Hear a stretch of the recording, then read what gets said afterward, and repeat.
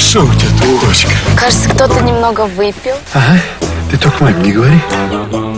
Ты тогда тоже маме не говори. Круто. Это что, настоящее? У нас в семье все по-настоящему. За «Шанс» от 250 тысяч рублей.